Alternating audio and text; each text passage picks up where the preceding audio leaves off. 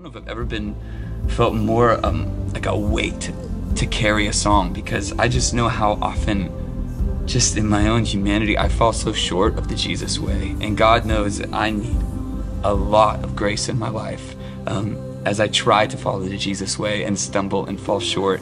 And even sometimes maybe even feel like a fraud when I sing this song. It's like, man, today I didn't follow the Jesus way. Today I acted out in impatience or was unloving or um, unkind or whatever it was. And, and so this song, it's, it's two things. It's saying, this is who I am, this is who I follow. And I'm also saying, when I sing this, God, you know my heart, this is who I want to be. Continue to transform me into your likeness and who you are.